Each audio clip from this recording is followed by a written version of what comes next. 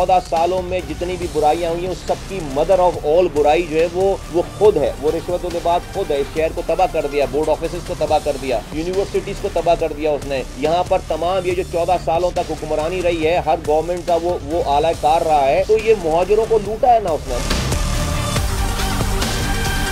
मुआजरों के साथ तबाही बर्बादी जो हुई है शहर में सिंध में जो तबाही बर्बादी हुई है वो उसका उसका अल्ताफ हुसैन के बाद सबसे बड़ा अमल दखल है। उसने अपने गवर्नरी बचाने के लिए मुआजरों का सौदा किया और अल्ताफ हुसैन ने सौदा करने दिया उसको।